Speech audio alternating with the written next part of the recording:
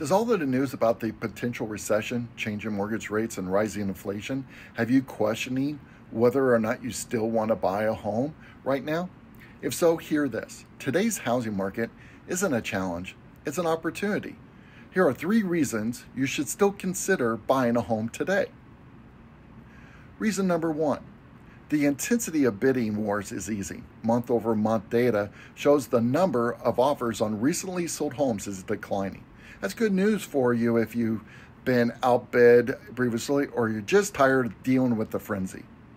Reason number two fewer homes are selling for over asking price. While it's still a competitive market, the percentage of homes that sold over list price has declined the past few months. Reason number three the supply of homes for sale is growing. that means you have more options for your home search.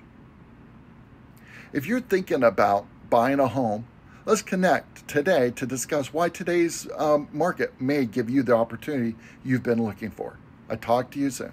Bye bye.